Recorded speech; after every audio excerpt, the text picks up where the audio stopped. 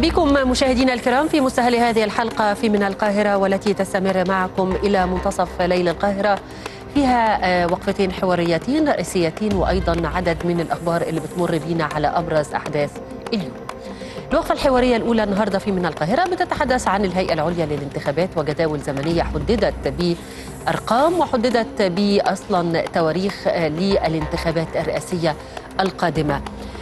تجرى الانتخابات في خارج مصر أيام 16 17 18 مارس القادم وتجرى الانتخابات في داخل البلاد في 26 28 و27 من نفس الشهر.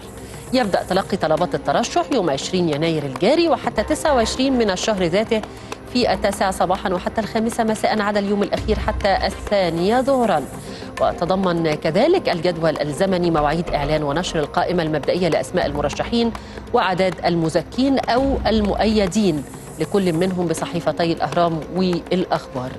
آه كل هذه الجداول الزمنية وكيف ينص الدستور المصري على الانتخابات الرئاسية القادمة في حوارنا الأول مع الدكتور محمد الذهبي أستاذ القانون الدستوري. بالأمس سيادة الرئيس عبد الفتاح السيسي كان في مدينة العاشر من رمضان وافتتح عدد من مشروعات الطرق الخاصة بالشبكة القومية للطرق في مصر عبر الفيديو كونفرنس. منها عدد من الطرق سواء ما يربط ما بين القاهرة ومحاورها المختلفة أو ما يربط بين محافظات مصر. طريق شبرا بنها طريق القوس الشرقي الشمالي الممتد من الدائري وموصل مدينة العاشر بن رمضان بعدد من المدن ومحافظة الشرقية تحديدا التابعة لها. وأيضا طريق القاهرة العين السخنة بعد تطويره ومحور الفنجري الذي يربط ما بين غرب وشرق القاهرة. كل هذه الطرق كيف تضيف إلى الاقتصاد القومي المصري؟ كيف تكون مشجعة للاستثمار أو جاذبة؟ ومهيئة للمناخ الجاذب للاستثمار؟ ده موضوع حلقتنا النهاردة مع الدكتور حسن مهدي في الوقفة الثانية في من القاهرة. أستاذ هندسة الطرق والمرور بجامعة عين شمس.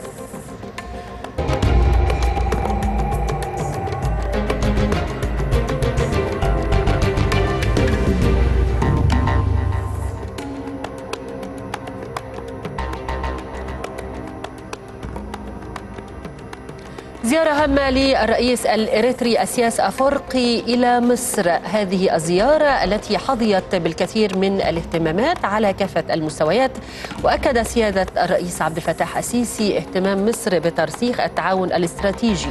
مع إريتريا في شتى المجالات وإرساء شراكة مستدامة بين البلدين وذلك في ضوء العلاقات التاريخية المتميزة التي تجمع بينهما.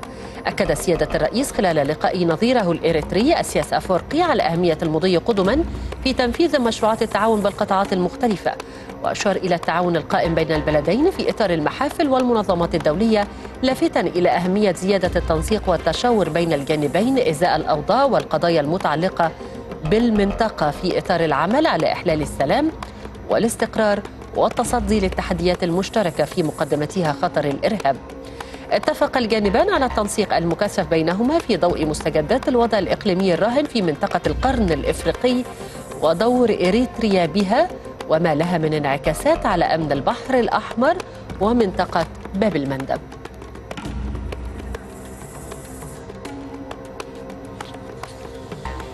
النواب يوافق على مشروع قانون تنظيم إعادة الهيكلة والصلح الواقي والإفلاس ويرجئ التصويت النهائي. وافق مجلس النواب في جلسته برئاسة الدكتور علي عبد العال رئيس المجلس على مشروع قانون مقدم من الحكومة بإصدار قانون تنظيم إعادة الهيكلة الصلح الواقي والإفلاس وذلك في مجموعه مع إرجاء التصويت النهائي على عليه إلى الجلسة القادمة. قال عبد العال عقب موافقة المجلس على مواد مشروع القانون إن مشروع القانون من المشاريع المكملة للدستور والتي تستلزم نسبة ثلثي أعضاء المجلس الموافقة عليه مشيرا إلى إرجاء التصويت النهائي على المشروع لجلسة قادمة. سيادة النائبة بسنت فهمي الخبير الاقتصادي وعضو اللجنة الاقتصادية بمجلس النواب تنضم إلينا عبر الهاتف. برحب بحضرتك سيادة النائب. أهلا وسهلا يا فندم. أهلا بيكي ماهية هذا القانون تنظيم إعادة الهيكلة والصلح الواقي والإفلاس؟ شوفي حضرتك ده أهم قانون اتعمل استكمالا لقانون الاستثمار التنفيذ. يعني باختصار شديد لما تخش تشتغلي عايزة تخش بهدوء وده قانون الاستثمار لائحته ولما تحبي تخرجي كمان عايزة تخرجي بهدوء من غير ما يحصل لك مشاكل ضخمة. فقانون الافلاس من أهم هذه القوانين. ولذلك أنا لما بقول لما كانوا بيتكلموا على قانون الاستثمار أقول لهم ده الدخول. لازم بقى نعمل قانون تاني سهل للناس لما تخرج بالفلوس تخرج أو لما أو ما تسلم يعني في ناس كانت بتبص للإفلاس على إن المفسد ده حرام ونصاب اطلاقا. أنت ممكن غصب عنك نتيجة تغير اقتصادية سياسية أمنية سياسة نقدية سياسة مالية. في كثيره جدا بتأثر على عمل المفكرين سواء كانوا صناعة زراعة تجارة ايا كانوا. فكان لازم تعملي لهم قانون إذا فعلا حصل لهم مشاكل وحبوا إنهم يشيلوا افلاسهم حب حد يحصل بالقانون ومن غير ما يضاروا. حاجة عشان سمعتهم وسمعه في شركات يعني يعني سيادة النائبة ده هيكون مكمل لقانون الاستثمار الجديد؟ امم في في ضمانات دخول رأس المال وخروجه. يعني دايما لما كانوا يقولوا لي الاستثمار أقول لهم سهوله الدخول وسهوله الخروج امم كمان عشان سهوله الخروج قوانين بقى سوق رأس المال. اللي هي مثلا لما نحب نطرح أسهم في البورصة نبيع الشركة في البورصة ونخرج نعمل اندماج نعمل استحواذ. ده تبقى المنظومة اكتملت بالكامل. بال حضرتك أيوة. لكن القانون بتاع النهارده ده مهم جدا جدا الحقيقة تمام. أنا بشكر حضرتك بشكر حضرتك جزيل الشكر سيادة يا النائبة بسنت فهمي الخبير الاقتصادي وعضو اللجنة الاقتصادية بمجلس النواب. مرة أخرى نعود إلى آه، العلاقات الاستراتيجية التي تربط ما بين إريتريا ومصر وأبعادها المختلفة على كافة المستويات. ينضم إلينا عبر الهاتف سعادة السفير رخا أحمد حسن مساعد وزير الخارجية الأسبق. برحب بحضرتك سعادة السفير. أهلا بك أهلا وسهلا. أهلا بك سعادة السفير آه، عمق لهذه العلاقات الإفريقية. مصر وإريتريا ومستويات من العلاقة على المستوى الاقتصادي والتعاون المشترك أيضا. آه، كيف ترى هذه الشراكة الحالية؟ في الحقيقة يعني دي آه، تطور لعلاقات ابتدأت منذ استقلال إريتريا عام 1991 آه، يمكن دي الزياره 21 يعني زيارة رقم 21 بمعدل تقريبا كل سنة وشهرين زيارة. ففي خلال آه، الثلاث سنين الأخيرة في أربع زيارات. فهنا في علاقات متواصلة بين مصر وإريتريا آه، بحكم ارتباط الدولتين بمصالح مشتركة آه، بحكم مشاركة مصر آه، في عملية التنمية البشرية والتنمية الاقتصادية والزراعية في آه، إريتريا عن طريق تقديم مجموعة من الخبراء. مصر بتتكفل آه، بكل تكاليفهم. آه، أيضا بالنسبة للتعاون في عدة مجالات. آه، مجال زراعي إحنا بنساعدهم في إنشاء الصوب الزراعية. آه، أيضا مصايد الأسماك. هم عندهم ساحل يمتد حوالي 1200 كيلو متر غني بالأسماك. فبالتالي بيتعاونوا مع الصيادين المصريين اللي بيروحوا عشان يصطادوا قصاد آه، سواحلهم سواء في المنطقة الاقتصادية المجاورة أو في آه، أحيانا في المياه الإقليمية. آه، بعد اتخاذ الإجراءات والرسوم نعم. آه، لكن لكن الموقع الجغرافي لكل من البلدين بيعطي ميزة نسبية ليس فقط على المستوى الاقتصادي لكن كمان الأمن وأمن هو البحر من الأحمر. ناحيه من الناحيه دي أنا يعني أحب أتطرق ليها مهمة جدا. اتفضل لأن آه، مصر في السنوات الأخيرة بدأت تشعر آه، بأهمية إن يكون في تعاون مشترك بين دول البحر الأحمر. آه، بدا بعد ما بدأ الصومال آه، تتفكك ويظهر فيه عمليات القرصنة ودي بتهدد آه، باب المندب اللي هو المدخل إلى البحر الأحمر وإلى قناة السويس أيوه فبالتالي باب المندب ده بيعتبر جزء من امننا القومي لأنه ضيق جدا ومدخل مهم. أيضا ممر البحر الأحمر إحنا والسعودية وإريتريا تقريبا آه، والسودان والأردن وإسرائيل يعني دي الدول المطلة على البحر الأحمر. آه، اسرائيل رأس قد كده دبوس إحنا شواطئنا آه، وال- والسعودية وإريتريا والسودان تكاد تكون تغطي البحر. فبالتالي لابد من التنسيق بين هذه الدول. آه، الآن في ظل الظروف الحالية بنجد إن السودان يعني بي بيخرج عن السرب وبي يعني يجلب دولة بعيدة عن البحر الأحمر اللي هي تركيا إلى البحر الأحمر بأن هو بيمنحها تسهيلات في جزيرة سواكن. أي. فده بالتأكيد عاوز يعني إعادة نظر. إحنا يجب أن الدول البحر في هذا في هذا الملف تحديدا ما مدى التعاون بين مصر وإريتريا في حماية مضيق باب المندب في تأمين الملاحة داخل البحر الأحمر وصولا إلى قناة السويس طبعا في مصر؟ بالتأكيد يعني هو بيبقى فيه إحنا عندنا يعني أسطول بحري معروف إن هو من الاساطيل الإقليمية اللي يعتد بها فالأسطول البحري بيبقى له بعض التسهيلات. هو حاليا في طبعا في اليمن الجنوبي بحكم إن مصر داخلة في التحالف اللي بيحارب في اليمن داخلة بقوات بحرية أساسا. فله وجود في اليمن الجنوبي ممكن إن هو بيمر على إريتريا وبالتالي يبقى في تنسيق على أساس إن حماية هذه المنطقة سواء من عمليات القرصنة أو من عمليات الإرهابيين لأن فيها مجموعة جزر بعضها تابع لليمن زي جزيرة حنيش. دي كانت هي أساسا اليمن كان بيساعد حركة إريتريا حركة التحرير الاريتريه وعن طريق مصر أيضا للحصول على استقلالها. وفي في إريتريا جزيرة دهلك. جزيرة دهلك دي فيها تسهيلات بحريه حتى هم عاطين لإسرائيل يعني من أيام إثيوبيا وفيها تسهيلات بحريه عديدة. فممكن جدا يبقى في تعاون في هذا المجال. أيضا نعم. ملف يعني ملف حوض النيل كمان. الحقيقة مش عايزة أفوت الفرصة سعادة السفير من غير ما أعرف تحليل حضرتك لهذا الملف تحديدا في شكل تعاون بين مصر وإريتريا. اتفضل. ملف حوض النيل يعني هو إريتريا يعني دورها مكمل طبعا. باعتبارها يعني مش داخله مباشرة مع يعني حوض النيل لكن هي بتعتبر من الدول المرتبطة بحوض النيل. بحكم علاقات الجوار مع إثيوبيا والسودان وبالتالي فمصر يهمها جدا إن يبقى في علاقات وثيقة. ومصر دائما كانت بتبذل يعني جهود الوساطة والمساعي الحميدة سواء بين إريتريا وإثيوبيا أثناء الحرب اللي كانت بينهم. في ما بين سنة 1998 لغاية سنة 2000 كانت مصر بتسعى لإنها توقف القتال بين إثيوبيا وإريتريا بالرغم إن يعني رئيس وزراء إريتريا ورئيس وزراء إثيوبيا من قبيلة واحدة. بالنسبة للسودان إحنا فوجئنا في الأيام الأخيرة بخبر إن السودان بيغلق حدوده مع إريتريا. يعني فبالتالي لماذا يعني وإريتريا لم تفعل شيء للسودان؟ فهنا في عمليات تحركات يعني بتدعو إلى التدقيق والبحث وراء الأهداف اللي وراها وبتضفي نوع من من الأهمية لترسيخ هذه العلاقة المستمرة بين مصر وإريتريا بالتأكيد. بشكر حضرتك بالتأكيد. جزيل الشكر سعادة السفير رخا أحمد حسن مساعد وزير الخارجية الأسبق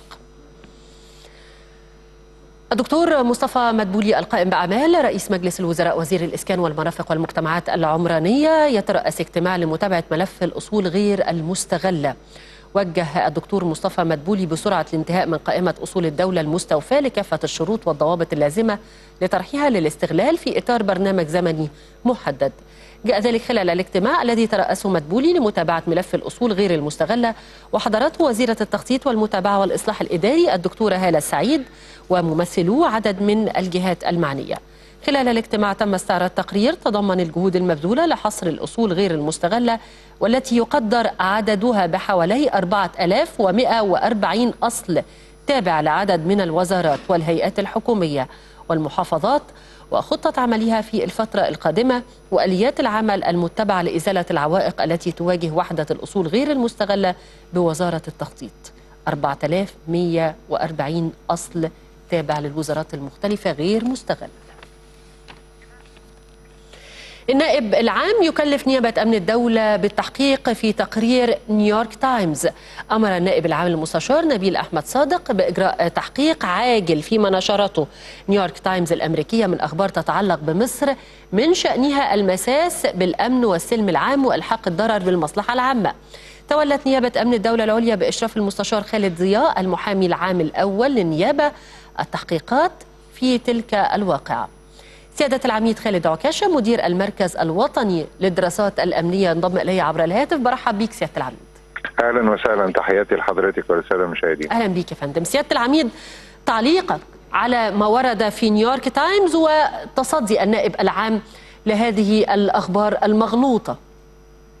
آه، يعني الحقيقة بشوف إنها خطوة في غاية الاهميه يعني آه، تحويل الأمر إلى التحقيقات القانونية والسياق القانوني الحقيقة آه، بشوف إن هي يعني خطوة قانونية تضع الأمور في نصابها الحروب الإعلامية والتدليس الإعلامي الآن على مستوى العالم الحقيقة آه، خد شكل متقدم جدا وله وزن على مستوى التأثير في الرأي العام العالمي. ربما الرأي العام المحلي الحقيقة من اللحظة الأولى آه، كان آه، عبر عن انحيازاته وعبر عن استقباله لمثل هذه آه، الأمور والفبركات ومحاوله ال- آه، الأشياء المسيئة أو ال- الصور المسيئة لدى الرأي العام المحلي. أصبح النهارده عنده قدرة الحقيقة على الفرز والتمييز بشكل سريع جدا. لكن الرأي العام العالمي ربما يقع ضحية لمثل هذه الفبركات ومثل هذه ال- الأداءات الإعلامية اللي أصبحت النهارده لا تقتصر على مسألة آه، تقارير منشورة في جريدة بقصد ما آه، بقصد ما هي تريد الإساءة ووضع آه، صورة مغلوطة آه، في الذهنية العل- ال- آه، للرأي العام العالمي. لذلك أو التشكيك في أوضاعك الداخلية يعني هي هذا صحيح هدف تصدير صورة والترويج إحداث هزة على على أي مستوى؟ أيوة. يعني تصدير صورة مغلوطة والإلحاح عليها في وسائل الإعلام آه، ليست فوق مس- مستوى الشبهات ومعلوم توجهاتها تماما ومعلوم تمويلها و وما يدور في خلف الستار بالنسبة لهذه المنصات الإعلامية ومن يديرونها ومن يستضيفها على أراضيه يعني هذه الملابسات كلها الحقيقة أنا بشوف إنها خطوة في غاية الأهمية وفي غاية الرصانة من الدولة المصرية أن هذا الأمر يوضع أمام آه، النيابة العامة. و- وقرار النائب العام بفتح تحقيق هنا هو هيفكك هذا الأمر آه، تفكيك قانوني ويضع وفق سياقات قانونية الحقيقة. من الممكن آه، يعني بهذا آه، بهذه الخطوة آه، إن هو يجهض محاولات مماثلة في المستقبل إن من تورط في صناعة مثل هذه الفبركات هناك نصوص قانونية من الممكن أن تطالوا و- وتضع الأمور في نصابها، الأمر قد يتطور إلى مخاطبة الجانب الأمريكي وطلب تعويضات ووضع غرامات على مثل هذه المنصات ال- الإعلامية وده يكون شكل من أشكال الردع الرصين والمحترم من الدولة المصرية اللي هي. بتتخذ هذا المسار ده شيء إيجابي جدا. أنا بشكر حضرتك جزيل الشكر سيادة العميد خالد عكاشة مدير المركز الوطني للدراسات الأمنية أعلنت وزارة الداخلية مقتل ثمانية من العناصر الإرهابية في تبادل إطلاق النار مع قوات الشرطة في إحدى المناطق الصحراوية بالعريش كشفت الوزارة أن تبادل إطلاق النار جاء خلال مداهمة لقوات الأمن وعناصر الأمن الوطني أحد المساكن المهجورة والتي اتخذها الإرهابيون بؤرة لتجمعهم بمنطقة الريسة في مدينة العريش حيث عثر بحوزة الإرهابيين على خمسة بنادق آلية وعبوتين ناسفتين وكمية من الذخيرة المختلفة. سيادة اللواء علاء بزيد مدير مركز الدراسات الأمنية والاستراتيجية معي عبر الهاتف. برحب بحضرتك سيادة اللواء. أهلا بك يا فندم المشاهدين أم، جهود الداخلية ما زالت مستمرة في مداهمة الأوكار الخاصة بالعناصر الإرهابية وأيضا النيل من هذه العناصر وتخليص المجتمع من شرور قد تكون آه، آه، في وقت ما تنجح إذا لم يتم القبض على هذه العناصر أو تتبعها. جهود وزارة الداخلية يا فندم في هذا الملف تحديدا. آه، تحية إجلال ل- لأرواح شهدائنا الأبرار اللي رحلوا عنا نعم. باجسادهم لتبقى أرواحهم تضاعف من روح العزيمة والتحدي والتصدي لهذه الج- الجماعة الشريرة وإن شاء الله بإذن الله قادرون على اقتلاعها من مصر بإذن الله وتحية تقدير لقوات الشرطة ب- والقوات المسلحة الباسلة المجهود اللي بيقوموا به لحماية وحفظ مصر واللي بيحصل الحقيقة الضربات الاستباقية والاجهاضيه اللي بتقوم بها قوات الشرطة بمساعدة القوات المسلحة قضت على كثير من العمليات اللي كانت مستهدفة. لازم نفهم إن مصر آه، بتخوض حرب شرسة، حرب فرضت عليها وبتمارس علينا أحط الأساليب غدرا وأدنى الوسائل خسه من هذه الجماعات الإرهابية وإحنا آه، يعني آه، لازم إن شاء الله بإذن أنت عارفين دعم مصر السياسي لليبيا وسوريا قضى على ال- الإرهاب فيها وداعش وده كله انحصر الإرهاب وانكسر بفضل الله ثم جهود مصر السياسية ودعمها ودي طبعا ال- ال- العناصر دي لابد من استهدافها لأنها بتمثل خطورة على على أمن مصر وعلى لأن إحنا لازلنا في دائرة. الخطر مصر مستهدفة مستهدف حاضرها مستقبلها وشفنا تصريح لأردوغان قبل كده إن هو بيقول لك بيجمع ال- ال- الدواعش في ليبيا لدخولهم مصر يعني بقت بقت معلنة من هي زعامة الإرهاب؟ لازم نفهم إن فيه هناك قوى إقليمية ودولية بتدعم هذا الإرهاب في دول بتدعمه للأسف وبتوفر له من- منصات إعلامية بتوفر له ملاذ آمن وبتدعمه وتغذي انطلاقه. وده الحمد لله إحنا ماشيين في خطة ثابتة لأنهم كل ما بيشوفوا أي مشاريع عندنا بيتم افتتاحها بتلاقي بعدها على طول بيحاولوا يعملوا الذئاب الفارده يعكروا صفو وسعادة المصريين بالإنجازات اللي بتحصل على الأرض. لكن إحنا دايما آه، واثقين في في ربنا سبحانه وتعالى ثم جهود قيادتنا المخلصة وجيشنا وشرطتنا وبيد تبني ويد تحمل السلاح. فإن شاء الله رجالنا عازمون على اجتزاز هذا الإرهاب من مصر. وقريبا جدا سنعلن إن شاء الله سينا خاليه من الإرهاب بإذن الله. مش بس محاربة الإرهاب الحقيقة إحنا معانا خبر سيادة اللواء بيتكلم عن آه، ضبط عملات أجنبية آه، ألماظ بحوزة تشكيل لسرقة مساكن. يعني كمان ال- الشرطة الحقيقة ما بتتخلاش عن دورها الرئيسي في إحلال الأمن في الداخل. الحقيقة ميدان معركة الأمن ميدان مفتوح ومتشعب. بنحارب الجريمه المنظمة العابرة للقارات بعلاوة على الإرهاب بعلاوة على الجرائم الجنائية اللي موجودة زي اللي إحنا بنشوفها دي.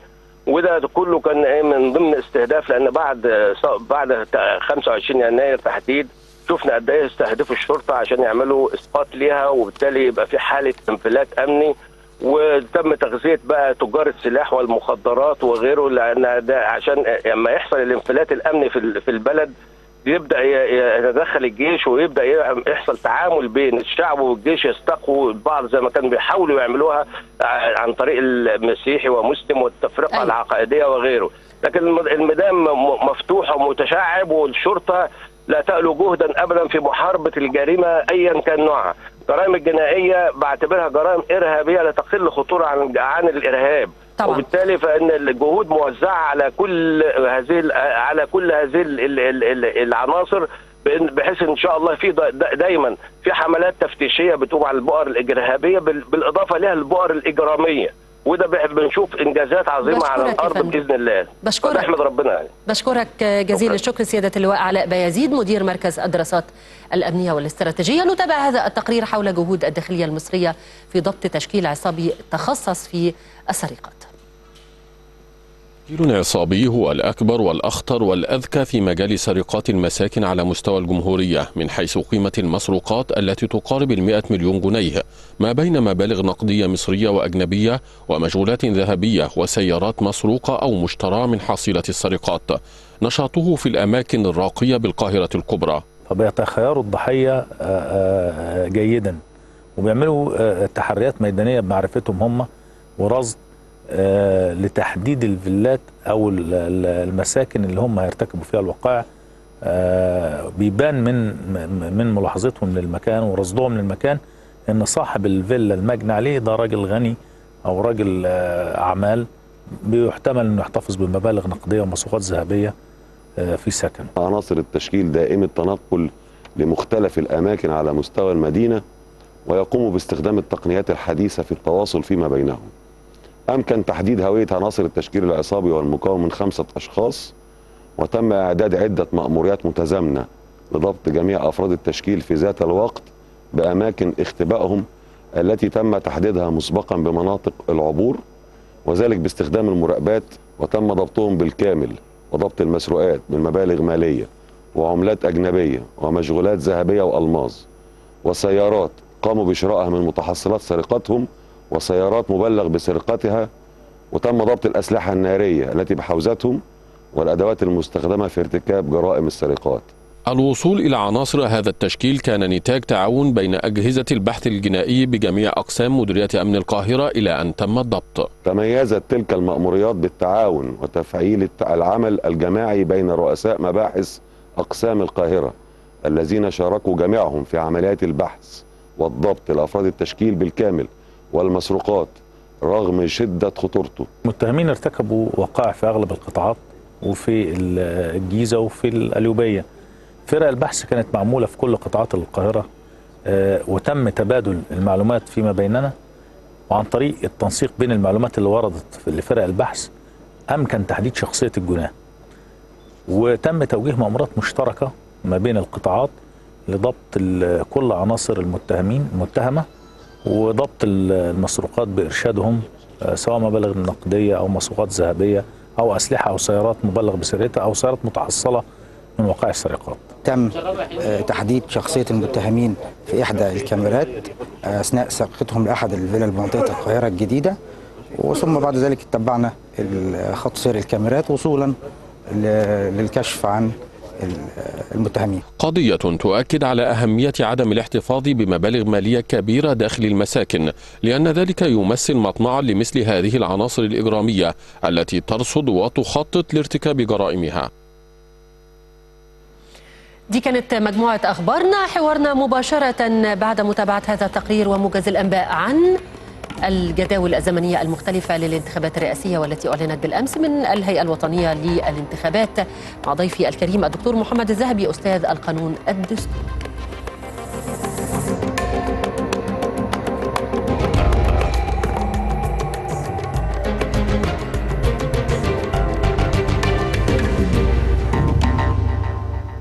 التمويل والإنفاق الانتخابي استعدادا لانطلاق ماراثون الانتخابات الرئاسية 2018 رابع انتخابات تعددية تجري في البلاد والثالثة بعد ثورة الخامس والعشرين من يناير. أعلنت الهيئة الوطنية للانتخابات إجراء الانتخابات في الخارج أيام السادس عشر والسابع عشر والثامن عشر من مارس المقبل وقررت إجراءها في الداخل أيام السادس والعشرين والسابع والعشرين والثامن والعشرين من الشهر نفسه. تجرى عملية الانتخاب المشار إليها. في المادة السابقة وفقا للمواعيد الآتية. خارج جمهورية مصر العربية. أيام الجمعة والسبت والأحد الموافق 16 17 18 من مارس 2018 داخل جمهورية مصر العربية أيام الاثنين والثلاثاء والأربعاء الموافق 26 27 28 من مارس 2018 وأوضحت الهيئة أن إعلان النتائج الأولية للانتخابات سيكون في الثاني من أبريل المقبل على أن تعلن النتيجة النهائية في الأول من مايو. للطعون في قرارات اللجان العامة إن وجدت يوم 28 4 2018 الحادي والثلاثين البت في الطعون المقدمة أمام اللجان العامة ولجان الانتخابات الانتخاب بالخارج يومي 29 و30 4 2018 الثاني والثلاثين إعلان نتيجة الانتخابات النهائية ونشرها بالجريدة الرسمية يوم 1 5 2018 ولضمان الحياد خلال العملية الانتخابية أهابت الهيئة بكافة المؤسسات الإعلامية والصحفية الالتزام الكامل بالحياد حيال المرشحين. ونناشد المواطنين ومؤسسات الإعلام والصحافة توخي الحذر في قبول أو نشر أي أخبار عن الهيئة إلا ما يصدر عنها بصفة رسمية وبعد الإشارة لمصدر الخبر بصورة واضحة دون تجهيل. وتؤكد الهيئة أن الانتخابات الرئاسية تعد من أهم مظاهر الديمقراطية التي يحلم بها المصريون.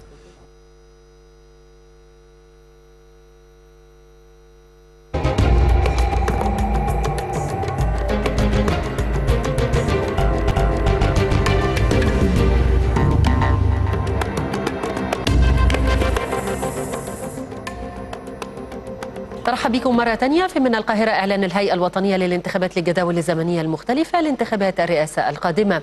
مع ضيفي الكريم بالنقد والتحليل الدكتور محمد الذهبي أستاذ القانون الدستوري والمحامي بالنقد. برحب بحضرتك يا دكتور. أهلا بيك. بحضرتك وبالساده المشاهدين. آه الهيئة الوطنية للانتخابات أعلنت جداول زمنية. نعم. في البداية قبل تفنيد هذه الجداول والمواد المختلفة التي تحدثت عنها الهيئة نتحدث عن هذا الكيان الجديد. الهيئة الوطنية للانتخابات في حد ذاتها. نعم. كيانها هيكلها ما ستضيفه للعملية الانتخابية القادمة.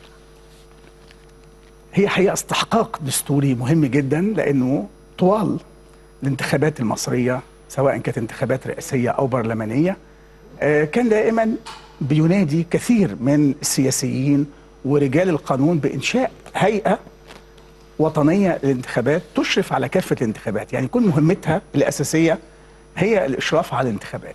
لأنه كان دايما في نقد لو السلطة التنفيذية هي اللي أشرفت على الانتخابات. ودايما الحديث عن أن هناك تزوير. آه، ول- ولذلك تم اللجوء إلى السلطة القضائية وإشراف السادة القضاء على الانتخابات. آه، على أساس يبقى في ثقة في الانتخابات مم. آه، فكان دايما القضاء بيشرفوا على الانتخابات. لكن كثير من رجال القانون وأنا شخصيا منهم آه، كنت بقول إنه مش ده دور القضاء. يعني القضاء هو دوره إنه يفصل في خصومة أو منازعة دور المنصة. آه، ما يجبش إن إحنا نشغل القضاه في إجراءات إدارية وإشراف على أعمال إدارية. وهي في حقيقة الأمر مرتبطة بالناحية السياسية ولا يجب إن إحنا ندخل القضاه في معترك السياسة. آه، ولذلك في بلاد كتير قوي سبقتنا زي الهند زي جنوب إفريقيا زي المغرب عندها هيئة آه، بذات ال- ال- ال- المسمى أو بمسمى آخر إن دي هيئة مستقلة ليها صلاحيات قانونية ودستورية بتقدر من خلالها تشرف على عملية انتخابية من بدايتها. كافة الإجراءات السابقة والممهدة للعملية الانتخابية من القيد في الجداول آه، تقسيم الدوائر ال- ال- الدعاية الانتخابية كل الإجراءات القوائم كل نعم إلى العملية الانتخابية نفسها بمعناها الفني الدقيق. من اقتراع اللي هو التصويت فرز إعلان للنتيجة. آه، ده كان دايما آه، كل السياسيين ورجال القانون بينادوا بالهيئة دي وهي الحقيقة حلت محل لجنة الانتخابات الرئاسية. ومحل لجنة الانتخابات البرلمانية يعني دور الهيئة الوطنية إنها هتشرف على الانتخابات الرئاسية والانتخابات البرلمانية والانتخابات المحليات. ده الدور الأساسي. آه، تشكيلها من آه، عشرة آه، من أعضاء الهيئات القضائية يعني نواب آه، رئيس محكمة النقض آه، رؤساء الاستئناف آه، مجلس الدولة النيابة الإدارية اللي بيغلب عليها الطابع القضائي في التشكيل. عندها ده مجلس الإدارة لكن في الجهاز التنفيذي اللي بيشرف على العملية الانتخابية نفسها منه قضاء منه موظفين.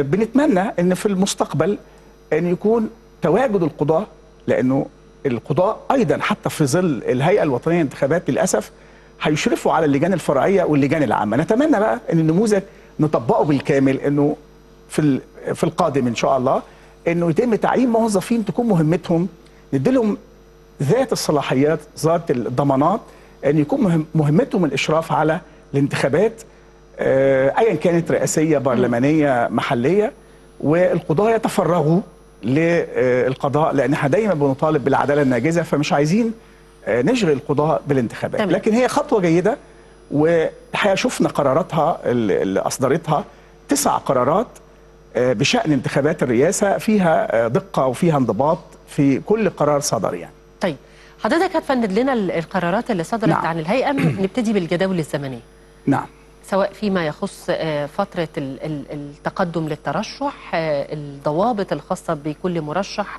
إذا ما وجد في التقدم لانتخابات الرئاسة. وأيضا فيما يخص المعاو المواعيد للانتخاب سواء في الداخل أو في الخارج. نعم. آه، هو الحقيقة تسع قرارات صدروا عن الهيئة الوطنية للانتخابات. القرار الأول هو قرار دعوة الناخبين للانتخابات الرئاسية. دول الناخبين المقيدين في الجداول حتى 8 آه، يناير آه، تم دعوتهم للانتخابات الرئاسية. ده اول قرار آه، القرار الثاني هو بشأن الجدول الزمني للعملية الانتخابية لانتخابات الرئاسة الجدول الزمني والإجراءات. القرار الثالث ده بشأن إجراءات التصويت للوافدين يعني الأشخاص اللي هو مقيم في محافظة غير المحافظة اللي بطاقته عليها. فايضا ده قرار كان مهم جدا.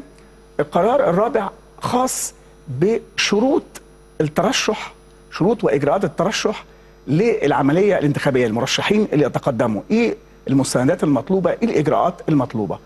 قرار آخر بشأن توقيع الكشف الطبي على المرشحين. أيوه. في أيضا ثلاث قرارات مهمين جدا صدروا عن الهيئة الوطنية للانتخابات. الأول بشأن آه، عدد وإجراءات الحصول المرشح على أصوات آه، أو تأييد ال- آه دي في, الناخبين دي في شروط الترشح. خلينا نعم. نتكلم عليها شوية يا دكتور محمد. نعم. 25 ألف توكيل نعم. من 15 محافظة أو بحد آه، أدنى بحد أدنى. 1000 توكيل في كل محافظة. و- أو 20 عضو من مجلس النواب. النواب. دي ليها قرار مستقل برضو آه، تزكية بقى. يعني هنا تأييد ال ال 25000 أيهما؟ تأييد. مش نعم لازم أيهما؟ الاتنين. طبعا. مم. يا ال 25000 ناخب يا 20 آه، عضو من عضو من أعضاء المجلس آه، آه، النواب. في قرارين حقيقة مهمين أيضا برضو صدروا عن الهيئة الوطنية للانتخابات. القرار الأول بيتحدث عن ضوابط وإجراءات التغطية الإعلامية واستخدم تعبير التغطية حتى لا يكون في تدخل في سير العملية الانتخابية. لا هو مجرد إنك بتنقل آه، ما يحدث داخل الل- اللجان آه، ما ما يصدر من قرارات من الهيئة الوطنية للانتخابات دون تأثير على الهيئة الوطنية للانتخابات. فذكر كلمة تغطية وده تعبير حقيقة دقيق ومنضبط جدا. أيضا في قرار آخر صدر بشأن آه،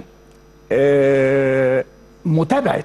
يعني كان برضو في دقة في ال- ال- القرار متابعة منظمات المجتمع المدني المصرية والأجنبية والدولية للانتخابات الرئاسية. آه، وحدث تنظيم في القرار ده أيضا. يعني كل قرار من القرارات التسعة اللي أنا ذكرتهم آه، في تنظيم لموضوع القرار.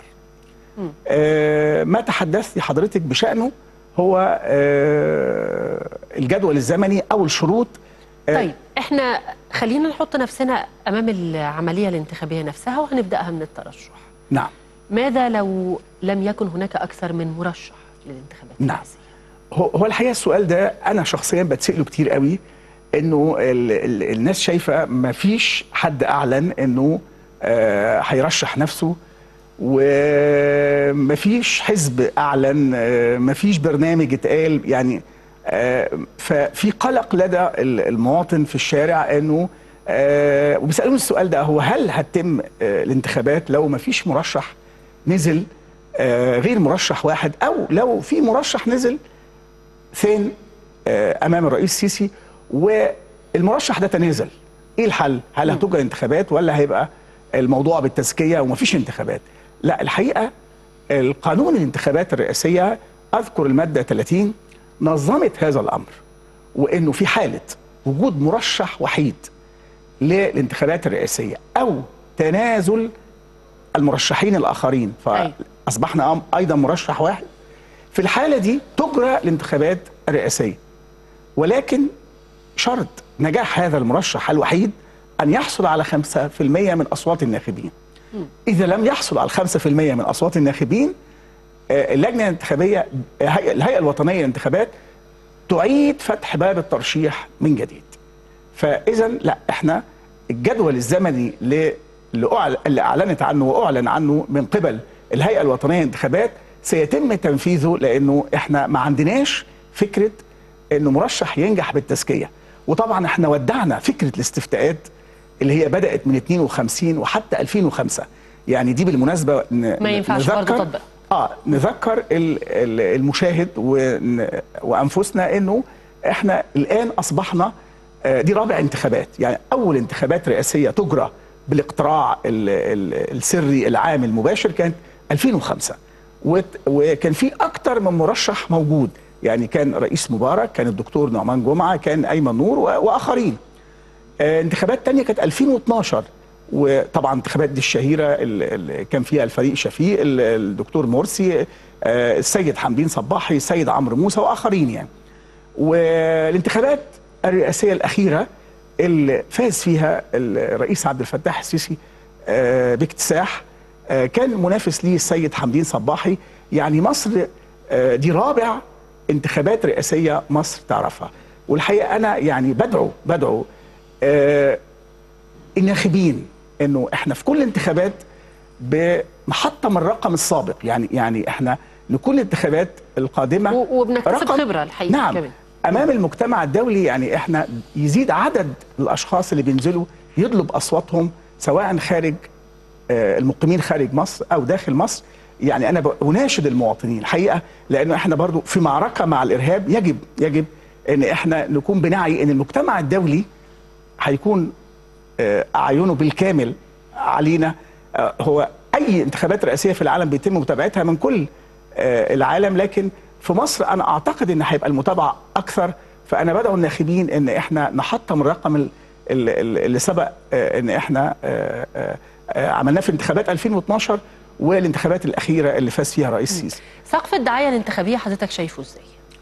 والله هو آفة الانتخابات س- سقف الإنفاق. هو 20 مليون. هو النص القانوني آه، بيتحدث عن 20 مليون. ده الحق لكل مرشح و5% فقط تكون نسبة التبرع. آه، إحنا يمكن النصوص دايما المتعلقة بقواعد الدعاية الانتخابية وحملات الانتخابية. في تاريخ مصر الحقيقة دايما ده الجزء اللي بي- بيحدث فيه اختراق دايما. يعني ما بنطبقش النصوص القانونية بشكل حازم. يعني شفنا في بعض الانتخابات اللي اتقال عنها إنها كانت انتخابات عظيمة قوي اللي هي 2012 مثلا. أنا بشوف إنها وفقا للمعايير الدولية. هي لم تكن انتخابات جيدة لأنه آه، كان الدعاية الدينية كانت بتتم. تم تجاوز حد الإنفاق من كافة المرشحين وبالتالي آه، يعني أنا بشوف إنه لو طبقنا قيم الديمقراطية طبقنا معايير ال- ال- ال- الدستورية الدولية القانونية القضائية هنلاقي إنها برضو كانت انتخابات معيبة لأنه بيحصل دايما تجاوز مش في حد الإنفاق فقط لا في كل أنواع الدعاية. يعني ما قبل في انتخابات 2005 بيتم تسخير آه، آه، سواء برلمانية أو رئاسية. في الفترات دي آه، كان ال- الموظفين الدولة آه، آه، ال- ال- أتوبيسات الدولة يعني في آه. آه، الدعاية الانتخابية. آه، الانتخابات اللي لحقت آه، كانت انتخابات بيغلب عليها الطابع الديني. يعني التصويت كان تصويت ديني طائفي مذهبي. يقولي عليه. التجاوزات إن وقعت. الهيئة الوطنية ممكن تتعامل مع هذه التجاوزات. آه، في قانون بينظم هذا الأمر وده دور أساسي للهيئه الوطنية للانتخابات. آه، تستطيع إنها تاخد إجراء في جزاء جنائي وفي يعني هي جزاء الكيان المراقب. نعم. لكل ما والمحكمة. الإدارية العليا يعني يعني يعني لو إنه في تجاوز لحد الإنفاق في تجاوز في الدعاية نفسها إنها تمت بالمخالفة للقانون وكان في تأثير على العملية الانتخابية يستطيع آه، أن أن يكون هناك طعن انتخابي يقدم إلى لجنة آه، الهيئة الوطنية للانتخابات أو يقدم إلى المحكمة الإدارية العليا لأن هم الجهتين الحقيقة لهم الحق في نظر الطعون آه،. اللي فيها تجاوز في العملية الانتخابية لكن ساعات بيبقى سقف الإنفاق مش متحكم فيه المترشح. بيكون في جزء مجاملات جزء شق دعائي من يعني من بعض الجهات مثلا عايزة تدعم مرشح على حساب المرشح الآخر. إزاي يتم الضبط ده هو في العالم يعني نصوص عندنا موجودة إنه لازم يبقى في حساب بنكي وفي مراقب للحملة الانتخابية وأي مبلغ بيتم إنفاقه لازم يخش الأول الحساب البنكي وبعدين تقدم الفواتير انت انفقته فيه عشان يتم ضبط المسألة. الواقع العملي أتمنى إن في وجود الهيئة الوطنية للانتخابات إن إحنا نشوف الأمر ده، يعني أنا أتمنى بشكل آه، شخصي آه، لأنه نصوص موجودة آه، وكنا بنشوف دايما العيب الأساسي في الانتخابات البرلمانية والانتخابات الرئاسية دايما كان هو مسألة الدعاية الانتخابية يعني خلاص لم لم يعد التزوير بمعناه التقليدي إنه آه، نشوف تصويت آه، شخص آه، متوفي نشوف إنه في تزوير في البطاقات التصويت إن البطاقة مش عارف الدوارة لإنه خلاص بقى قاضي جوه اللجنة الفرعية على كل صندوق وفي اللجان العامة فما بقاش فيه التزوير بالمعنى اللي كنا بنشوفه في السابق. لا داخل العملية الانتخابية نفسها تصويت أو فرز أو إعلان النتيجة آه، مفيش مشاكل خالص مفيش تزوير. لكن هي المسألة تحديدا في الدعاية الانتخابية إنه الخروقات كلها بتتم في الدعاية الانتخابية. وشفنا حتى في الانتخابات البرلمانية السابقة هي كان إيه ال ال ال أوجه الانتقاد الرئيسية إنه بنلاقي مرشح صرف رقم ومرشح تاني هنا إخلال بمبدأ المساواة وتكافؤ الفرص 100% إنه شخص عنده القدرة إنه يصرف 20 مليون وشخص آخر بيلتزم بنص القانون أو ما عندوش ال- القدرة إنه يدفع الرقم ده فبيصرف الرقم اللي القانون قال عليه ده بشوف إنه يعني في نظم بقى المقارنة شوف المجلس الدستوري بيبطل العضويه يعني أنا في تقديري في الانتخابات البرلمانية أو غيرها لو إحنا أبطلنا عضويه يعني تصدى المحكمه الإدارية العليا وأبطلت عضويه عضو نجح بإنه تجاوز حد الإنفاق أو إنه كان في خروقات واضحة جدا للمحظورات في الدعاية الانتخابية إنه كان التصويت بيتم آه، آه، فيه آه، حديث عن الدين. يعني لا هنا أبطلنا عضويته مش هتتكرر تاني. زي ما قضينا على مسألة التزوير في التصويت أو الفرز أو إعلان النتيجة أتمنى وأنا شفت الحقيقة تصريحات ل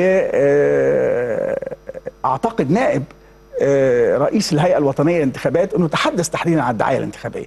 يعني إنه هيكون في قواعد تطبيق للقانون وهيكون في إجراءات منظمة. حقيقية للمسألة لكن. بشكل عام يا دكتور حضرتك شايف من من مدة بداية الترشح لحين ظهور النتائج نعم. الخاصة بالانتخابات هل المدة تكفي لل- للمترشحين أن يتقدموا بأوراق ترشيحهم أن يتم الكشف الطبي السلامة من الناحية ال- ال- الذهنية والبدنية الصحيفة ال- ال- الجنائية لكل مترشح كل الك... النواحي وال- والضوابط دي. مدة زمنية تكفيها؟ آه، هي المدة جيدة جدا والهيئة الوطنية للانتخابات هو النص الدستوري بيتحدث عن إنه الانتخابات تجرى آه، قبل انتهاء مدة الرئاسة. هي مدة الرئاسة أربع سنوات. أيوه. 120 يوم. ده النص الدستوري بيتحدث عن هذا. وإن يتم إعلان نتيجة الانتخابات قبلها بشهر. ده النص الدستوري. المفروض المدة تخلص في يونيو. ده على الأقل. بس هي يعني 120 يوم على الأقل. فكون الهيئة الوطنية للانتخابات راعت الأمر ده وبدأت الانتخابات قبل الثلاث شهور يعني قبل ال 120 يوم آه، أنا أعتقد إنه ده آه، كان تقدير جيد جدا. والجدول الزمني أنا شايف إنه مناسب جدا والحقيقة مدروس بشكل علمي وراعى الظروف شهر رمضان ان ما تكونش الانتخابات في شهر رمضان آه، والمواعيد منضبطة يعني يعني بداية من آه، فتح باب الترشح للمرشحين. هي دعوة انتخابات خلاص إحنا قلنا 8 واحد. لكن بتبدأ من 20 واحد لأول مايو. دي الفترة الزمنية اللي هيتم فيها الانتخابات. بداية من فتح باب الترشح والتقدم بأوراق الترشح آه، وما يستتبعها من إجراءات بقى تظلمات استبعاد فتظلم فطعن أمام محكمه اداريه لحد ما يطلع القرار النهائي بالقائمه اللي هتنزل الانتخابات سواء اثنين أو ثلاثة أو شخص آه، اللي هيخوضوا الانتخابات الرئاسية. آه، بنبدأ الانتخابات 16 3 دي الانتخابات ثلاث أيام. يعني انتخابات المرة دي الحقيقة جيده انها 16 3 في الخارج. في الخارج ثلاث أيام. و26 3 في الداخل. في الداخل. ده وقبل ذلك في مدة فترة فترة الصمت أقل قد من إيه؟ شهر. فترة الصمت هتبقى قد إيه؟ هي هي في أقل من شهر. يمكن أنا يعني البرنامج الزمني أنا آه، من 24 2 ل 23 3 ده دي الفترة اللي هي إن شاء الله هتكون فترة الدعايه الانتخابية. دي مهمة قوي. 24 2 آه، ل ل 23 3 3 آه اللي هي الحين إجراء الانتخابات في الداخل.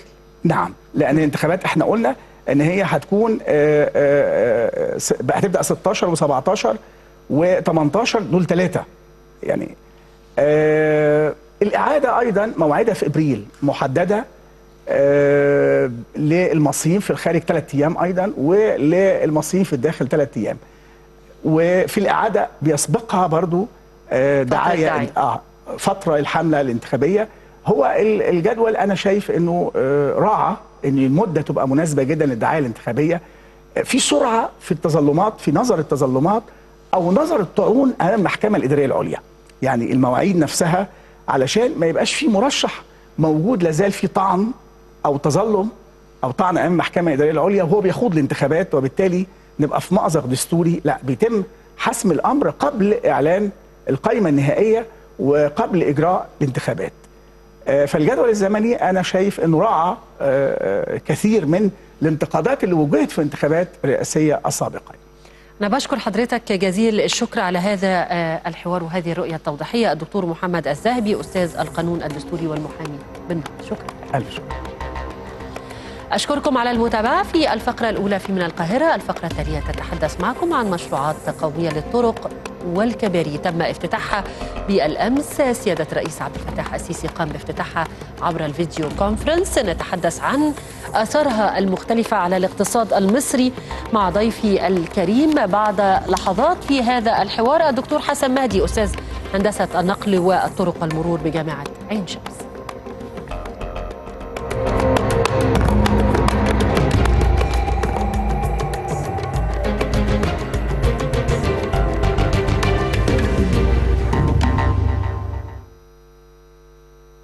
انطلاقا من كون شبكات الطرق والكباري هي الأداة الأولى والأساسية. لأي تنمية مستدامة يأتي افتتاح الرئيس عبد الفتاح السيسي لعدد من المشروعات القومية الكبرى بمدينة العاشر من رمضان ومن ضمنها المشروع القومي للطرق عبر الفيديو كونفرنس. وخلال افتتاح المشروعات أكد وزير النقل هشام عرفات أن إجمالي الاستثمارات في مشروعات الطرق والكباري التي تم إنجازها خلال الثلاث سنوات الماضية بلغ 22 مليار و500 مليون جنيه. من ضمنها المشروع القومي للطرق بتكلفة 12 مليار و800 مليون جنيه. وأشار إلى أنه تم تنفيذ 15 كوبري على النيل خلال ست سنوات موضحا انخفاض نسبة الحوادث بنحو 26% مع تنفيذ المرحلتين الأولى والثانية من المشروع القومي للطرق. وفي هذا الإطار شدد الرئيس السيسي على ضرورة سرعة الانتهاء من مشروعات الطرق لحماية المصريين من الحوادث. لما نتكلم في النقطة دي نقول إحنا ليه قلنا الواسطة دي لازم تخلص؟ لأن دي أعلى نسبة خسائر أو حوادث في مصر على الإطلاق مش كده؟ وبالتالي كل ما هنخلصها بسرعة أنا بقول كده عشان الشركات اللي شغالة تعرف إنها لما هتخلص هتحافظ على أرواح المصريين. ولتخفيف الأعباء عن المواطنين وجه الرئيس السيسي بعدم استلام الطرق من الشركات المنفذة إلا بعد إعادة تلك الطرق إلى أصلها. الطريق يخلص الشركات ما تخرجش منه ما تاخدش مستخلصاتها. الا لما يكونوا وضبوا الطريق وجهزوه ونظفوه أنا بتكلم اجناب الطريق. أنت اشتغلت وخلصت حالك مش بس اللي اللي في النص لا. طب. نرجع الشيء لاصله لو سمحت. تمام. عدا الجزء اللي أنتوا حاطين فيه اعاده أو المنطقة اللي هتستكمل الشغل بتاعها. ويؤكد الخبراء أن مشروعات الطرق تهدف لتخفيف العبء عن المواطنين وتقليل الوقت المستهلك فيها لأقل من الثلث. وفي نفس السياق أوضح البعض أن هذه المشروعات ستسهم بشكل كبير في الحد من الحوادث نظرا لإنشائها وفقا لمعايير دولية من حيث الإضاءات والإرشادات. وأكد آخرون أن مشروعات الطرق تعد بمثابة شرايين جديدة للتنمية بما يؤدي لخلق تنمية عمرانية متكاملة في المناطق الجديدة.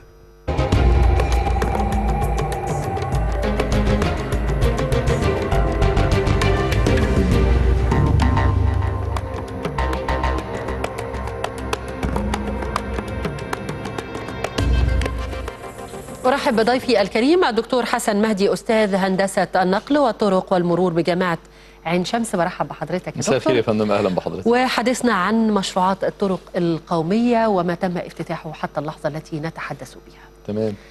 تعقيبك من وجهة النظر الهندسية يعني ما والفنية على هذه الطرق وهذه الشبكة الجديدة في آه، مصر. طبعا الطرق ومشروعات النقل بشكل عام هي قاطرة للتنمية في شتى النواحي سواء تنمية آه، عمرانية أو تنمية صناعية أو حتى تنمية زراعية أو سياحية لابد من أن يكون هناك شبكة من البنية الأساسية القوية حتى نستطيع أن نسير في آه، التنمية المستدامة بكافة صورها. الدولة أخذت على عاتقها من منتصف 2014 في مواجهة مشكلاتها بشكل جذري وبناء عليه تم وضع آه، تصور لشبكة من المواصلات تشمل محاور جديدة للطرق لخدمة مشاريع التنمية المستدامة وهذه الطرق تم دراستها بعناية اشترك في تنفيذها ثلاث جهات الهيئة الهندسية للقوات المسلحة ووزارة الإسكان ووزارة النقل وكل جهة من هذه الجهات الثلاثة أبلى بلاء حسنا في هذه الفترة والهيئة الهندسية للقوات المسلحة إدارة المهندسين. العسكريين الحقيقة شريكة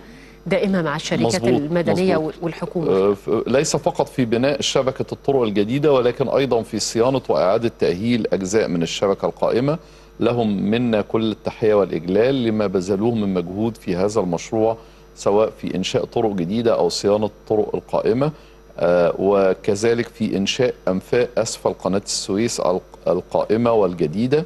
وهذه الأنفاق ستغير من شبه جزيرة سيناء إلى الأفضل طبعا لسهولة الربط وتقليل زمن نقل المواد الخام وبالتالي تعجل من معدلات التنمية المستدامة في هذه المنطقة. وإن شاء الله في منتصف 2018 شن- سنشهد سيارات تستخدم هذه الأنفاق الجديدة وبالتالي يعني تحل أزمة أو تحل أزمة قائمة من انتظار الشاحنات على المعديات بالأيام. ستتم الرحلة في خلال دقائق معدودة من خلال هذه الأنفاق. علاوة على آه، بعض المشروعات اللي قامت بها آه، الدولة من خلال المشروع القومي. لفك اختناقات مزمنة نذكر منها شبرا بنها اللي هو يعتبر حل جذري للاختناقات المرورية الموجودة على مداخل طريق القاهرة الإسكندرية الزراعي. اللي بيعد آه، يعني شريان الحياة طبعا ده لمحافظات رابط الدلتا. محافظات كتير صحيح. مظبوط. ولا يوجد له بديل يعني ما نقدرش نقول إن الطريق الصحراوي بديل ليه لكن هو لا يوجد له بديل وكان آه، آه، إنشاء طريق شبرا بنها يعني حل آه، جذري لمشاكل مزمنة. هذا الطريق آه، تكلفته الإجمالية 3.5 مليار جنيه مصري وطوله 40 كيلو وبيختصر زمن الرحلة من ساعة ونص إلى حوالي 25 دقيقة. ومكون من أربع حارات لكل اتجاه وهو أول طريق زراعي حر ويعني بجودة عالية وب يعني تقنية عالية في دي, الإنشاء. دي النقطة بقى اللي أنا عايزة أتكلم فيها يا دكتور. مع المعايير المطبقة في هذه المشروعات وهذه تمام. الطرق تحديدا. كم كبير جدا من الافتتاحات للطرق مش بس اللي بنتكلم عليها امبارح لكن على مدار الأربع سنين مظبوط. اللي فاتت. مظبوط. وكمان دايما سيادة الرئيس بيبقى حريص إن هي تكون كاملة الخدمات. مظبوط. و و وموافقة للمقاييس العالمية صحيح و و وفيها ال ال الجزء الخاص بالخدمات الصيانة كمان تمام. و- والطوارئ أو حتى في البوابات اللي بتقول مين اللي بيستقل الطريق وبياناته يعني خلينا. نبدأ من حيث ال- ال- الجزئية الخاصة بالجودة في الإنشاء آه، يعني إحنا بنلتزم بالمعايير العالمية في إنشاء هذه الطرق و سواء إذا كان في ال- الاتساع الخاص بالطريق وعدد الحارات وكمان مواكبة الزيادة السكانية والزيادة المضطردة في حجم الرحلات على هذه الطرق. علاوة على ذلك الجودة في مواد إنشاء الطريق والاختبارات اللي بتتم عليها والتأكد من صلاحية الطريق قبل افتتاحه. وهذا الكلام آه، يعني أعلنه سيادة الرئيس أن لا يوجد افتتاح لمشروع قبل أن يأتي تقرير من الجهات الرقابية اللي بتشمل الرقابة الإدارية وبعض. الكليات الحكومية ومنها الكلية الفنية العسكرية للتأكيد على أن هذا الطريق لا يوجد به ملاحظات فنية تمنع دخوله في الافتتاح آه، آه، بعض المشروعات تأجل افتتاحها بسبب بعض الملاحظات اللي كان لازم إنهائها قبل الافتتاح وهذا يؤكد أنه لا يوجد تهاون في الجودة. آه والفكرة في- مش في كم بالظبط. وخلاص آه، من, من يعني في ناس كتير بتقول طب اختصار الوقت ده ما بيأثرش على الجودة؟ لا هو ما بيأثرش لأن هناك جهات آه، محايدة تقوم بأعمال مراقبة الجودة في جميع مراحل المشروع وإبداء الملاحظات الفنية للقائمين على التنفيذ لأخذها في الاعتبار قبل افتتاح المشروع. آه، فيما يخص الصيانة وده عنصر مهم جدا. الدولة أنفقت في قرابة الأربع سنين الماضية ما يقارب من 84 مليار جنيه في إنشاء شبكة طرق جديدة وهذه الطرق تعتبر ثروة وتعتبر شرايين للتنمية المستدامة زي ما قلت ولا, ولا بد من الحفاظ عليها والحفاظ عليها يأتي بان أنا آه، أعمل الصيانة المطلوبة في ال- الوقت المطلوب علشان ما نوصلش إلى تكلفة عالية في الصيانة إذا أهملنا أو تقاعسنا أو تأخرنا في أعمال الصيانة. إحنا بس عايزين ننوه إن إحنا عندنا آه، ال- ال- العنصر الأساسي في موضوع الصيانة واللي الدولة واخدة آه، على عاتقها إصلاحه هو موضوع الحمولات الزيادة اللي موجودة على الطرق بسبب آه، إن أنا النقل عندي الثقيل النقل والنقل التقيل لأن أنا ما عنديش بدائل للنقل في الوقت الحالي لكن يمكن سمعنا في أثناء الافتتاح وزير النقل تحدث عن إصلاح منظومة السكة الحديد وأن هناك جهود آه، يعني ملموسة في آه، إدخال آه، قطاع نقل البضائع إلى سابق عهده في إن هو يكون شريك للنقل البري في نقل البضائع والمواد الخام على مستوى الجمهورية. وبالتالي أقدر أمنع الحمولات الزيادة ولا يعني أحصل رسوم نتيجة للحمولات الزيادة لأن ما يتم تحصيله من غرامات أو رسوم لا يكفي لصيانة الطرق أصلا.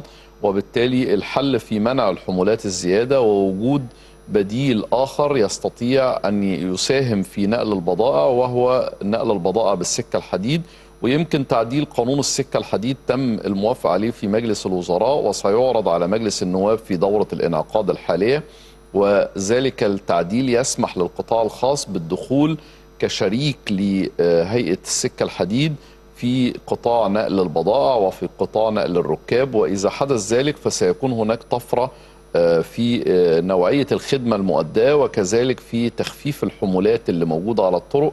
الدولة بتصرف ما يقارب من 7 مليار جنيه في صيانة شبكة الطرق القومية سنويا. لو أنا منعت الحمولات في الزيادة الصيانة. في الصيانة بس ممكن 7 مليار. ممكن أقلل ده لو أنا أنا بقول لحضرتك لو أنا آه. شغلت السكة الحديد في نقل البضائع ومنعت الحمولات الزيادة السبعة يبقوا اتنين.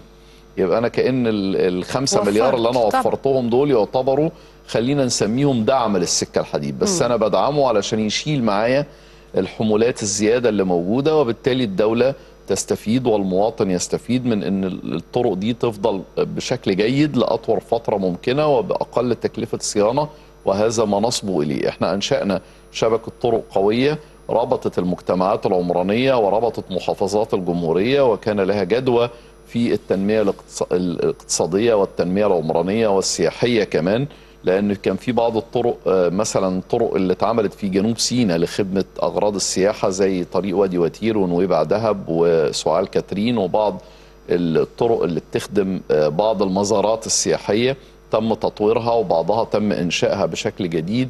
عيون موسى شرم الشيخ بيخلي المسافة إلى جنوب سيناء في حدود ثلاث ساعات ونص أربع ساعات وده يشجع السياحة الداخلية أو حتى ال- السائحين اللي بينزلوا في القاهرة يقدروا بشكل آه، سلس يوصلوا إلى المناطق المزارات السياحية في جنوب سيناء. عندنا كمان الطرق اللي بتغرض بتخدم أغراض التنمية ال- الزراعية نذكر منها على سبيل المثال طريق ديروت الفرافرة. انشأته وزارة الإسكان بطول 285 كيلو وده بيربط محافظة أسيوط بمحافظة الوادي الجديد بمنطقة الفرافرة وبناء عليه تم استصلاح آلاف الأفدنة وزراعتها بأحدث أنظمة الزراعة ويمكن سيادة الرئيس حضر موسم الحصاد الأول في منطقة الفرافرة وهي منطقة يعني خصبه للاستثمار الزراعي وبالفعل هناك العديد من مشروعات التنمية الزراعية اللي اتبنت على أساس وجود شبكة من الطرق. لو ما أيوة، كانش في شبكة طرق ما كانش قاطره التنمية. مظبوط يا. فندم. يبقى أنا عشان أعمل تنمية لازم إن أنا أعمل شبكة مواصلات بشكل عام ليس فقط الطرق.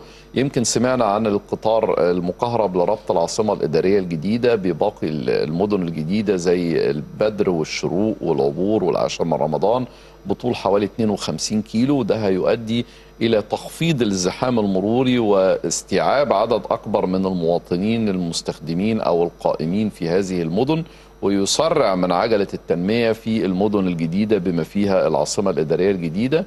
كذلك الحال هناك توسعات في مدينة السادس من أكتوبر وإنشاء ال- المونوريل أو القطار ال sky train أو القطار المعلق لربط السادس من أكتوبر والشيخ زايد بمحافظة الجيزة وبالتالي تيسير الحركة النقل على المواطن في حياته اليومية مما يكون له مردود على تقليل زمن الرحلة والاستفادة من آه، الوقت الوقت المهدر وتقليل الحوادث. بالظبط. حضرتك كلمني إزاي ال- شبكة الطرق وال- والمقاييس اللي بتتبع في الطرق إزاي تقدر تقللي الحوادث؟ يعني إحنا شبكة الطرق اللي أنجزت في المشروع القومي للطرق في خلال الأربع سنين الماضية يمكن نقول من 80 ل 90% منها هي طرق حرة ودي بتصنف إنها من أعلى درجات الطرق من حيث الأمان المروري لأنها معزولة عن أي آه، إشغالات آه، جانبية ممكن تؤدي إلى حدوث حوادث علاوة على إن جميع التقاطعات الواقع عليها بيتم إنشاء كباري علوية أو أنفاق حتى الدوران للخلف بيتم باستخدام كباري للدوران أعلى الطريق أو أنفاق من أسفل الطريق. وبالتالي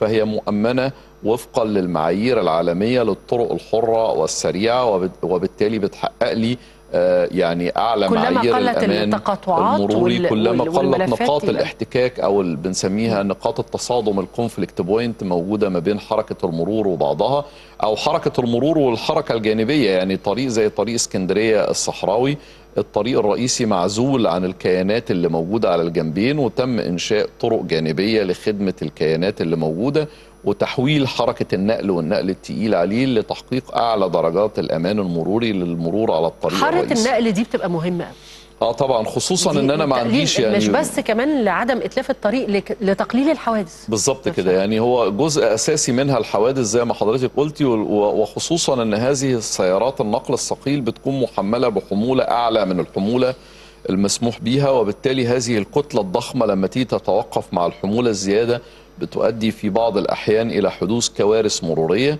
فلما بنعزلها على طرق منفصلة هذا الكلام بيحقق أمان مروري عالي ويمكن بعض الطرق الجانبية المخصصة لحركة النقل والنقل الثقيل تم إنشائها من الخرسانة بدل من استخدام الأسفلت علشان تكون أقوى وتستحمل الحمولات الزيادة لحين أن يتم تطوير مرفق السكة الحديد ودخوله بشكل فعال في نقل البضائع لتخفيف العبء عن شبكة الطرق وإنها زي ما قلت لحضرتك لما هجد البديل هقدر أمنع الحمولات الزيادة وبالتالي يبقى شبكة طرق تعيش معايا لفترة أطول.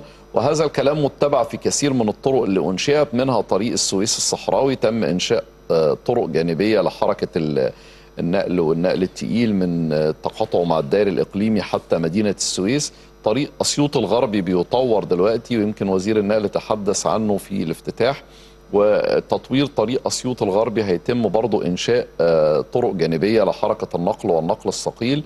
وبالتالي بحقق أعلى درجات الأمان المروري وبتقلل لي معدلات الحوادث ويمكن وزير النقل أشار إلى إن الإحصائيات بتقول إن مع افتتاح هذه الطرق نزلت نسبة الحوادث أو حصل لها نقص بحوالي 26% يعني أنا لما بقلل الحوادث معناها إن أنا بحافظ على أرواح المواطنين التي لا تقدر بثمن بقلل التكلفة اللي بتتحملها الدولة في إعالة أسر من يتوفى أو يصاب في حادث مروري وبالتالي هناك فائدة وجدوى على الاقتصاد القومي.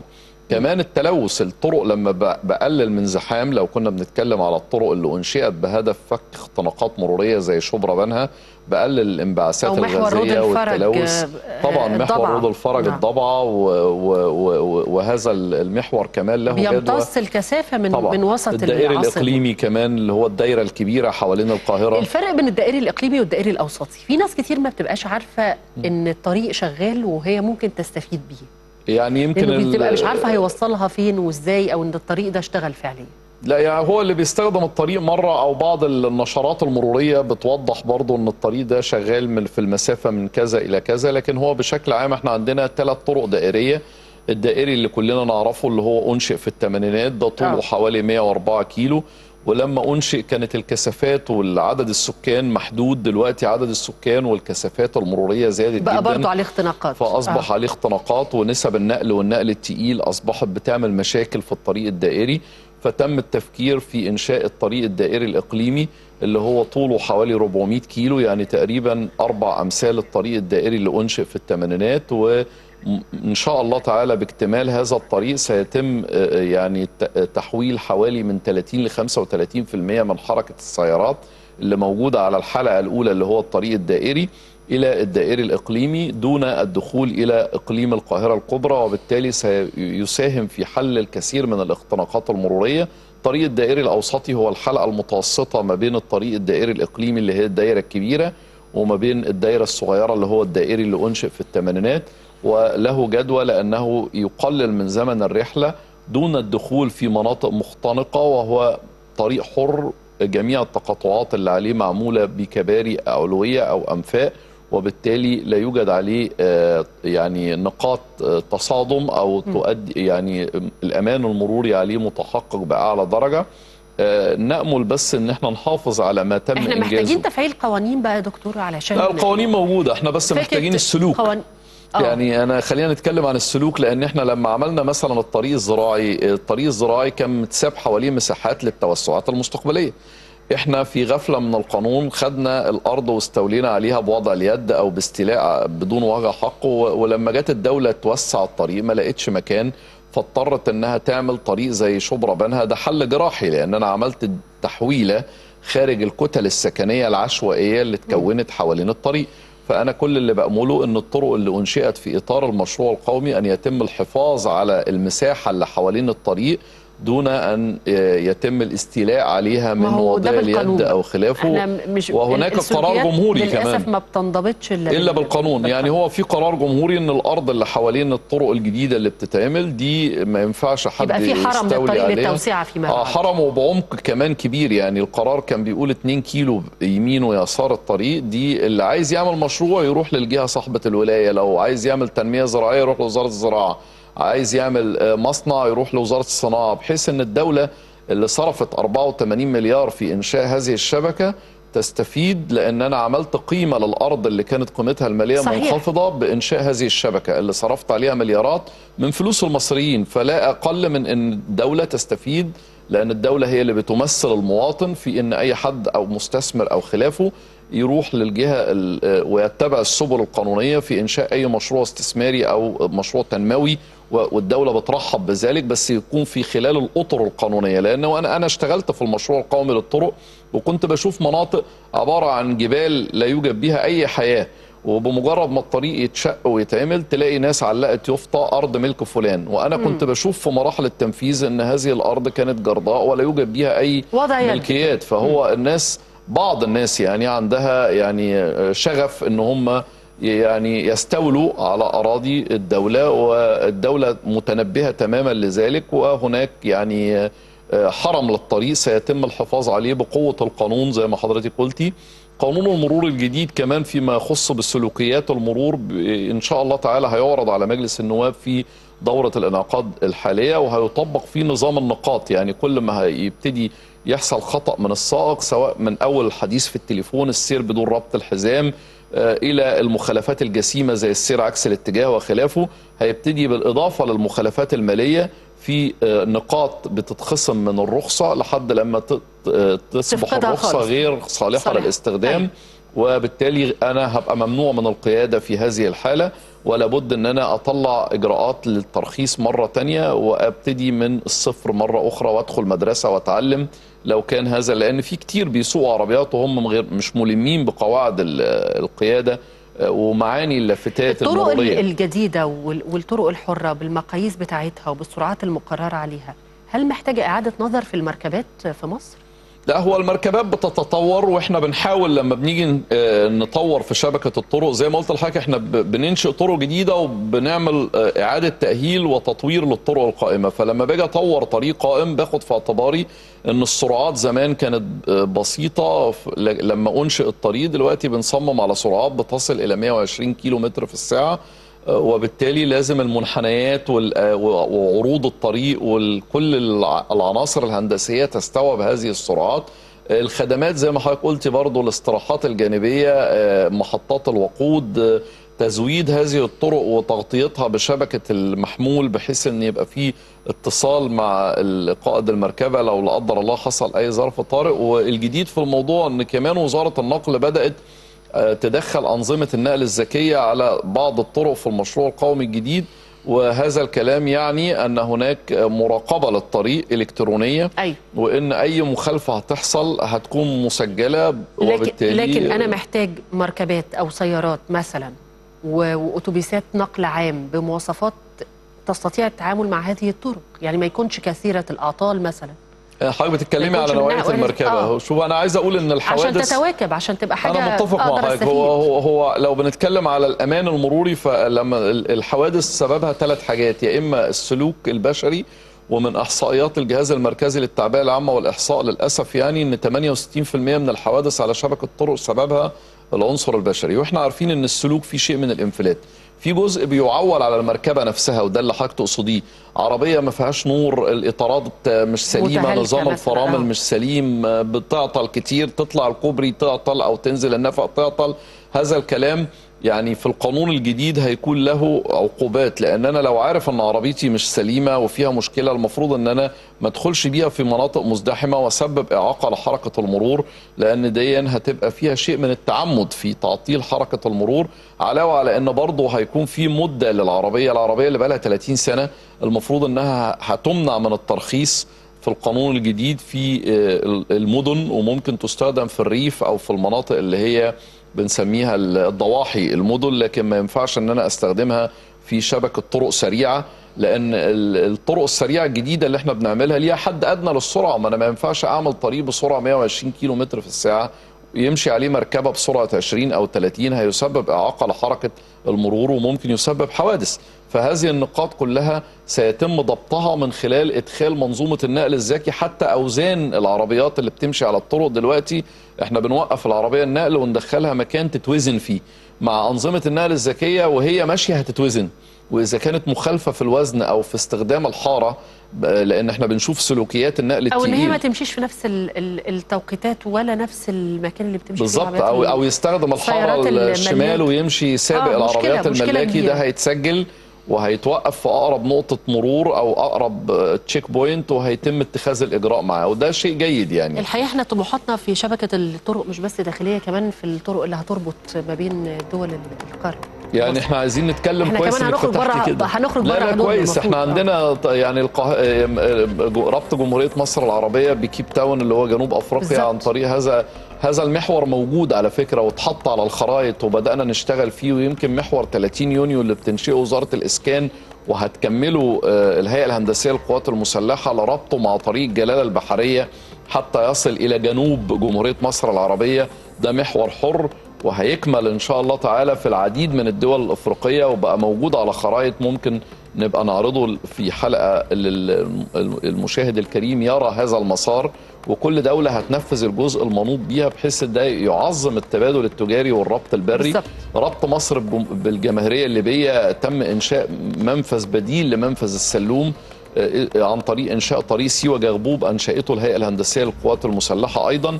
آه، الأنفاق وهناك فكر آه، لربط آه، جمهورية مصر العربية بالمملكة العربية السعودية عن طريق آه، جسر ما بين المملكة وما بين جمهورية مصر العربية. هيساعد في تعظيم التبادل التجاري وكمان آه، السياحة في منطقة شبه جزيرة سيناء وجنوب سيناء وخصوصا سيا- آه، سياحة العطلات.